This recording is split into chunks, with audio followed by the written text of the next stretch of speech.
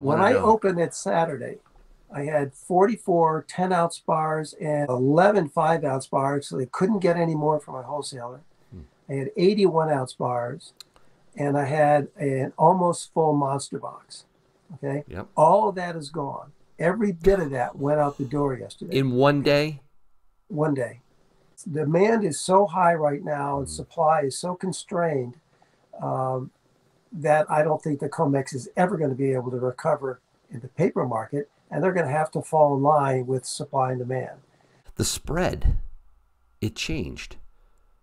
It was a, I think, a dime between the bid and the ask, and now it's a dollar for silver. It changed. Really? That means that a lot of wholesalers don't trust the market. They don't trust this move.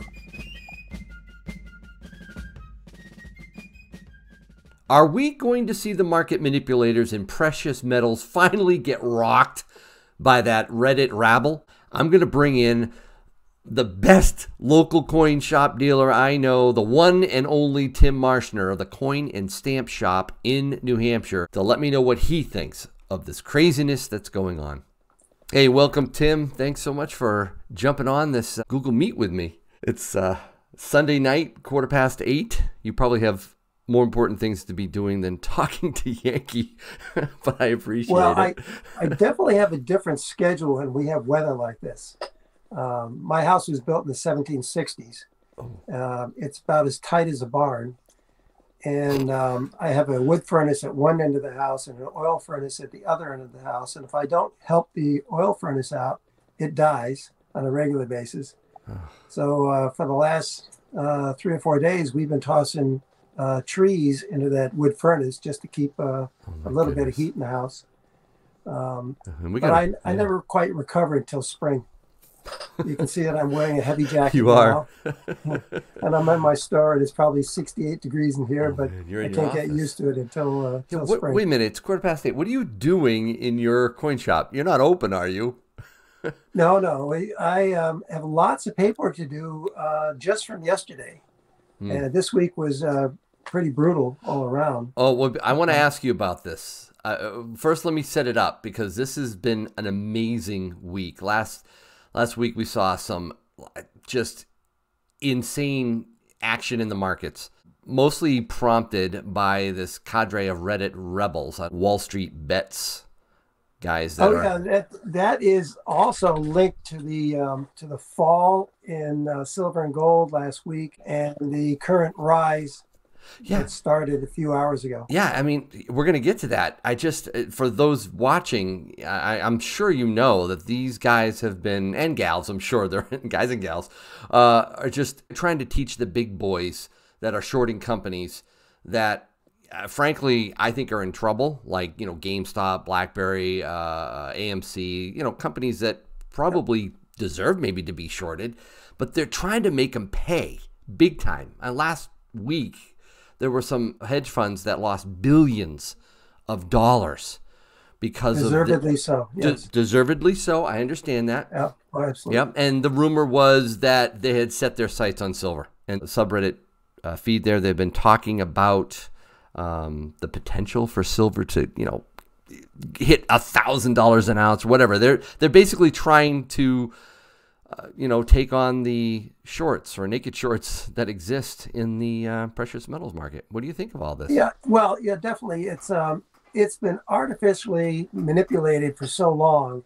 Um, I think that the you know possibly Wall Street has uh, has woken up to the fact that um, they can't control everything and they can't pick the winners and losers mm. because mm. there are still a lot of individuals out there who resent their activities.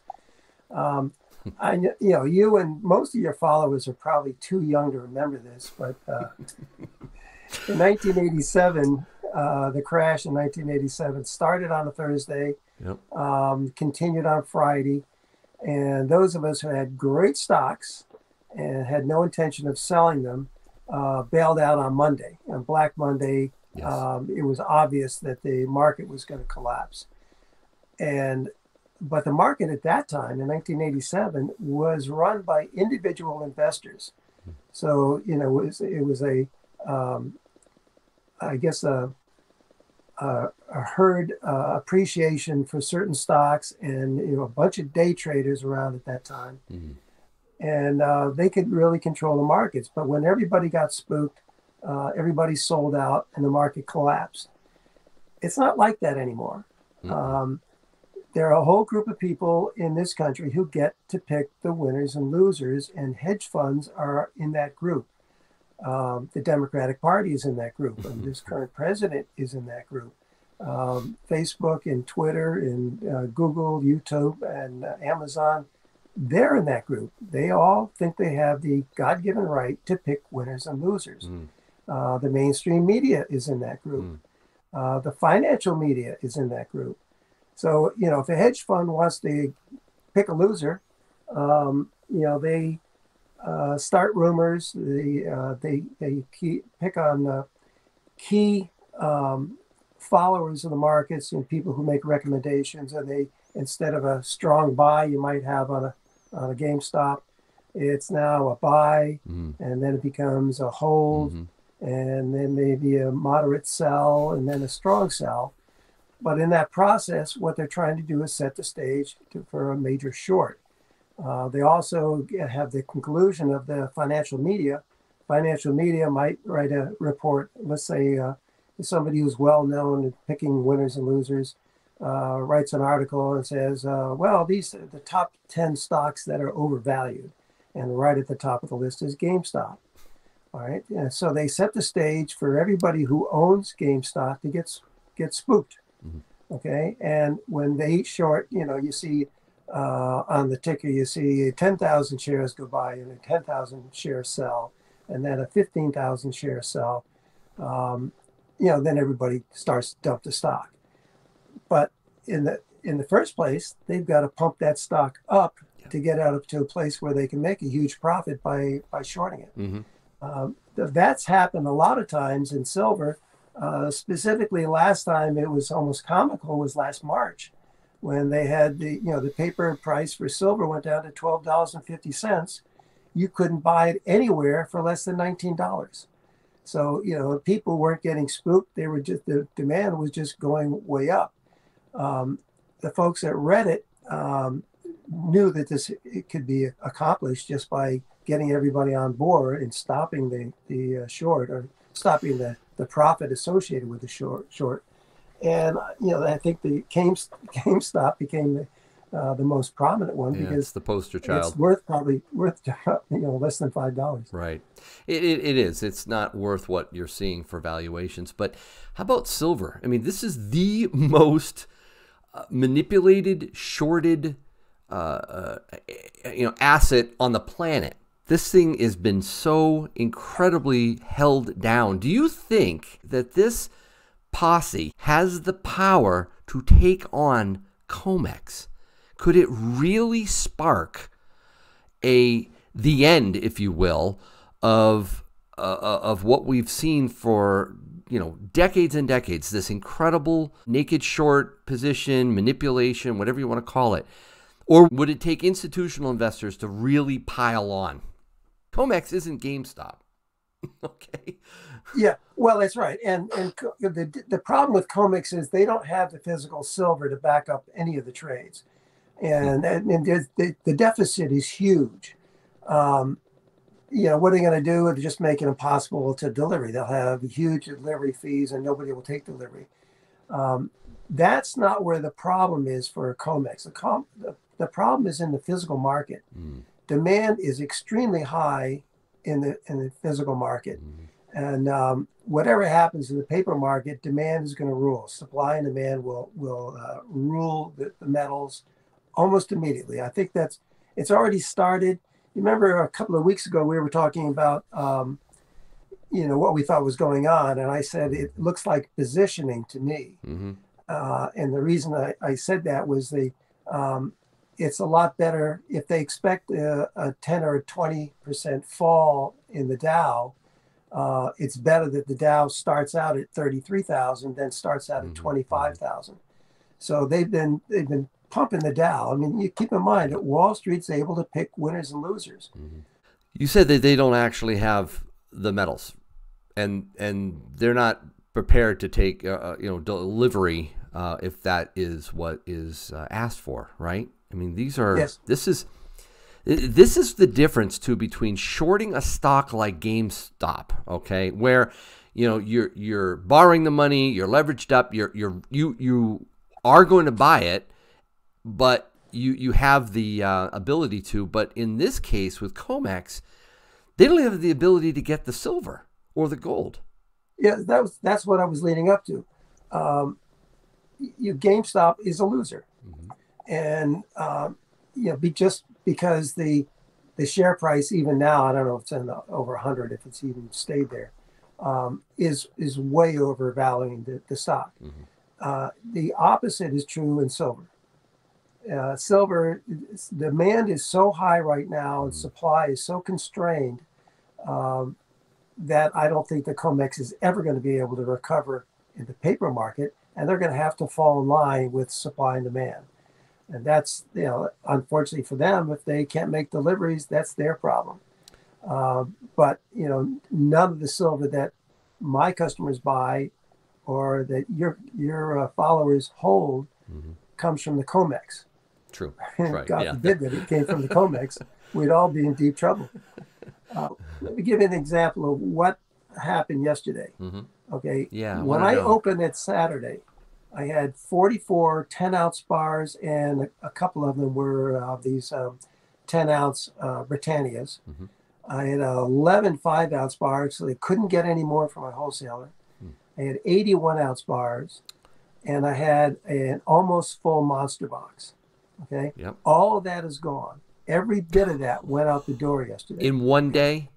one day, um, including the monster box. Monster box is empty. I have, I think, five coins left out of uh, out of a monster box. You got cleared out. Um, but we also, uh, I had somebody come in who bought because I didn't have any bars left. He bought um, three dozen Morgan dollars, at you know at the inflated collectible price. Hmm. Gave him actually a pretty good deal, but um, he was expecting to pay at least thirty dollars a piece, and I gave it to him for twenty eight. Wow. Um, I had $140 face value in 90% that went out the door, four 10th ounce uh, American Eagles, three quarter ounce, um, they're Maple Leafs and Britannias, and uh, let's see, several sovereigns. Um, let's see, two ounces of gold, were bars, three uh, American Eagles, two Maple Leafs, and one Krugerrand Gone. all went out the door yesterday. And the ratio is, is the biggest thing that I noticed tonight. The ratio went down to 62. Yep. Um, you know, we've had many conversations about the ratio. Mhm. I, I, I've been always saying I, I'd like to see it in the 50s. I- I think that's where it believe, belongs right now. But gold isn't making the same appreciation in this, this short term that silver is. And I think silver is because it's been so manipulated. Uh, and I actually got back to your thirty dollars uh, a couple of hours ago. Yeah, I don't know if you noticed that. yeah, I did see that. I also noticed. were- I also noticed a lot of bullion dealers stopping online. the last two weeks, every every other day or so, when people would ask me about my pricing on gold, Hmm. I'd go to every one of them. You know, APMEX, SD Bullion, JM Bullion, uh, Money Metals Exchange, uh, Modern Coin Mart to see what they're selling gold eagles for, because that was the one that people were having trouble getting. And my prices for the, the one to 10 price um, were lower than every single one of them. In some cases, my prices were $100 lower than their prices. Now, the reason for that is um, I go to one wholesaler, he's very aggressive. Um, at the end of last year, when the, the people who were getting in line for the 2021 Gold Mhm. Eagles, Mhm. um, he grabbed all the 2020s to get his hands on. And uh, so far, I haven't had any problem getting gold eagles from him because he just he put them in a hedge, Mm. and um, he keeps them around, but he puts them in a hedge so he Mhm, doesn't lose money. Okay. Um, I think he still has a pretty good um, commitment to whatever's in that hedge Okay. uh, until the big guys start calling him. And when they start calling him, you know, APMEX, and Bullion, if they start calling him to see what he has, then we may all be out of luck. I mean, I've beaten everybody's prices with all this stuff that went out the door yesterday. but the, those prices are going up. Demand is has never been higher except for last March. it was probably a little bit higher. Is, do you think it was? I was going to ask you. Is it comparable? Uh, well, the nobody was selling it last March, and you know my philosophy is to sell at the current price because I can always buy more at that price. But Mhm. as it turned out, that price was probably seven or eight dollars above spot. But the amount of product available has become evident to everybody real soon. hmm hmm Um, and my wholesaler has already sent me a message. He said, "Are you watching this market?" and you know, ha ha ha, are you watching this market? Um, yep. and he doesn't have much. Hmm. I think he he told me when I talked to him on Saturday he had maybe two monster boxes. He was waiting for delivery of more. Um, you know that's that means he sold a ton. That means he in two days he probably sold ten or twelve monster boxes. Amazing. And you know he's the the regional distributor for the Boston area. Wow. So I yeah I think demand is going to continue up. I think the margins are going to be, go up a little bit. Mhm. Um, the U.S. Mint is the dark horse. Uh, I they have problems now. We don't know how serious those problems are, Hmm. but delivery of vehicles may become uh, a, a serious problem because demand is so high. You know, Tim, I also noticed something that occurred uh, when the markets opened in Asia. That uh, maybe this is common, normal. Maybe you've seen this before, but the spread it changed. It was a, I think, a dime between the bid and the ask, and now it's a dollar for silver. It changed. Yes. You- Had you not noticed this? I only look at the price I have to pay. I didn't even look at that. Yeah. Um, it's 20 right now it's 27.71 for the bid and 28.71 for the ask. That's a dollar. That that is that's unusual. That is it? Um, okay. What does it mean? It really is unusual because that means the wholesaler is only willing to pay twenty seven eighty one. They're only willing to pay that. That's what the only the only place that the bid and ask is relevant is what dealers have to pay to get it. That's the ask, Mm, mhm. and it's what the wholesalers are willing to pay for them to get it. Now, I, I Mm. think that's going to change. I think the the bid and the ask will both go up, but the they shouldn't be much more than a dime apart. It's a dollar, dude. Um, it's a you know, dollar. it happened about that's, two hours ago. means What does it that mean? means that a lot of wholesalers don't trust the market. They don't trust this move. Could this expose the short, the naked short positions that are flagrant in our precious metals markets? They could. They definitely could. But I, I noticed uh, on Bloomberg this week, uh, this past week, there were a couple of people who are um, who publish short interest reports who are, are not publishing them anymore, and they think that their information is being used to counter the market. So they are flat out refusing to publish uh, publish these uh, short interest reports. Mm-hmm. Mm-hmm. and that you know that's on, in the metals you re- rely on those to find out which way the, the wind's blowing. And they've stopped. um, and they stop. Yeah I, I, i'm not really sure how much control the reddit gang if you want to call them that um, will have in the markets but keep in mind that comex is under a perpetual crisis. It's not that they're going to face a crisis anytime soon. Mm-hmm. they're always in crisis. It wouldn't take And, much, um, maybe, to, to nudge it, push I, them over. I think they would just shut things down. They'd just Mm. shut down deliveries, period, and say, you know, tough luck. if institutional investors, if uh, retail investors, if the word gets out that, wow, precious metals are, are severely undervalued, they are incredibly shorted, and the price is going up, maybe that would be enough too. Because personally, I don't think it's enough. I don't think it's enough for just a small cadre of, of rebels to do this. I think it needs more traction. Again, this is not some stock that's struggling like BlackBerry or something. So I don't know if it's enough. No, you're abs- you're absolutely right. Keep in mind what the fundamental reason for that is. This is America. We were founded on free enterprise, and free enterprise will ultimately rule the day unless um, this current people in power, unless they they're somehow able to institute government control. Hmm. Um, these markets will continue to be free, and supply and demand will ultimately rule. And I, you know, everybody has to remember that when it comes to the metals, supply and demand is the most important aspect. When demand is as high as it is, if the supply uh, starts to fall apart, the metals are going to soar. The hedge funds need to wake up. Hmm. Right now, they're able to pick the winners and losers, and that's not right. Wow. Thanks, Tim. Appreciate you uh, getting on the call with me. Well, it's been very interesting, and uh, I'm sure this week is going to be very interesting almost every day. All right. Thanks a lot, bud. Appreciate it. Thank you. Take care. All right. Well, there you have it, folks.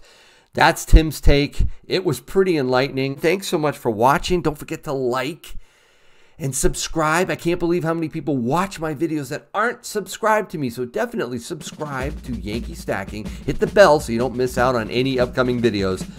And as usual, I hope your day is a-okay.